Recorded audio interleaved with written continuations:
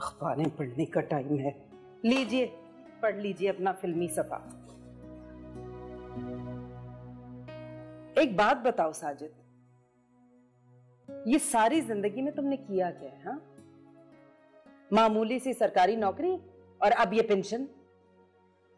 भाई जो कुछ भी कमाया आपके हाथ पे ला कर रख दिया। हाँ जो कमाया ना उस पे तो जक़ात लगती है।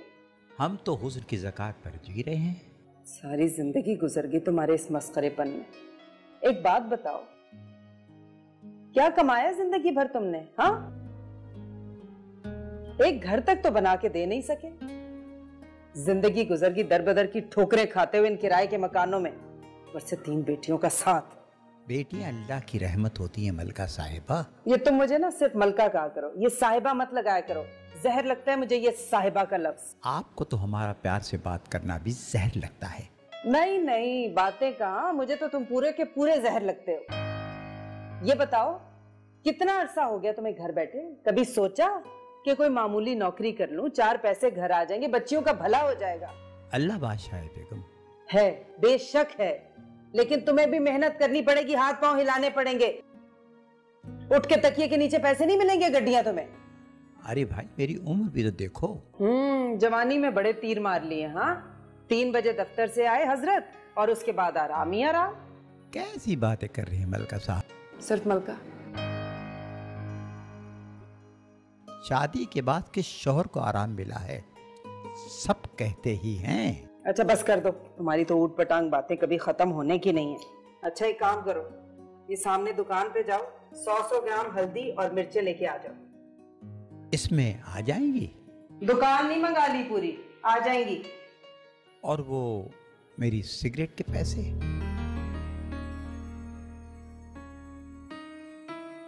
फूके ये लो।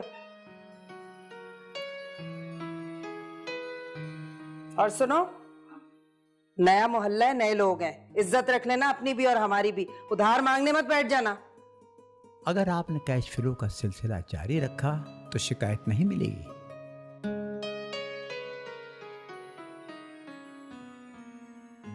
छोटे से बड़ा हो गया तुझे चीज़ें तोलना नहीं आई? चल जाके सफ़ाई कर। बाबू भाई बाबू भाई अम्मा ने पर्ची दी ये चीज़ें देना। चावल पत्ती। ओ बड़े वाले छोटे एक किलो चावल तोल दे तीन नंबर वाली बोरी से। और ये ले ये सामान भी डाल देना। ऐसे दबंग चावल है अर्शी बाबू मज़ा आ जाएगा। चूल्हे पे चढ़ाओगे पूरे मोहल्ले में खुशबू। पुलाव पकाओगे बिरयानी का मज़ा आएगा।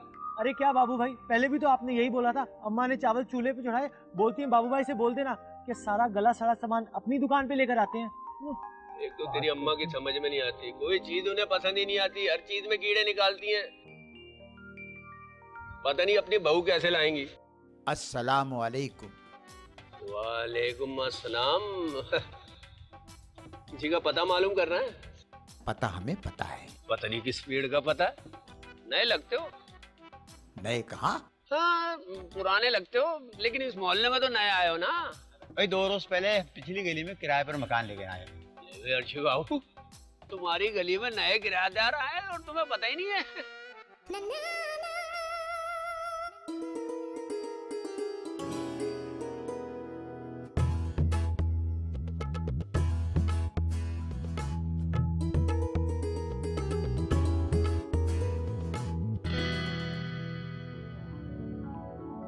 ये भी तो आप ही की गली में रहता है। मुलाकात नहीं हुई? अस्सलाम वालेकुम वालेकुम अस्सलाम। मोहल्ले का सबसे शरीफ लड़का है ये। तो हमारी कौन सी एफ़ आई आर कटी हुई है थानों में? ये अच्छी गई। बड़े इंटरेस्टिंग आदमी लगते हो। नाम क्या है? साजिद। तो फिर तो साजिद बाबू हुए ना। आपका नाम क्या है? मुस्तकीम। वैसे सब मोहल्ले वाले बाबू बाबू कहते हैं। भाई सौ ग्राम हल्दी और सौ ग्राम मिर्ची मिल जाएँगी। क्यों नहीं मिलेंगी? जनरल स्टोर पे आए हो कोई सीएनजी स्टेशन पे थोड़ी आए हो? बा, बाबू भाई पहले मेरी चीज़ें तो दे दी अम्मा घर पे इंतज़ार कर रही हैं। अबे हो, हो गई इनकी चीज़ें? ला भाई सारा सामान ला। ये लो। पर्ची पर्ची। भाई ये मेरे पास रिकॉर्ड में रहेगी। उधार ले जा तो।